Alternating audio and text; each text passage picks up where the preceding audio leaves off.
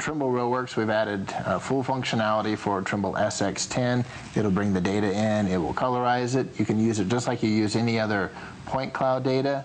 In addition, we've also added a new file format, TDX, which allows you to share the data between Trimble Business Center and Trimble RealWorks.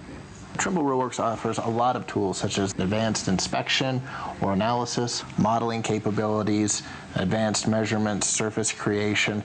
In fact, it's one of the industry's best softwares for going in and doing advanced point cloud analysis, or even doing modeling itself. These are the kind of things that you'll want to do inside of Trimble RealWorks. So Trimble RealWorks and Trimble Business Center will both be able to export the Autodesk RCP file format. So this is great for our customers that are currently using TBC or RealWorks in combination with T, uh, Autodesk, uh, ReCap, or Civil 3D, or Revit to create deliverables.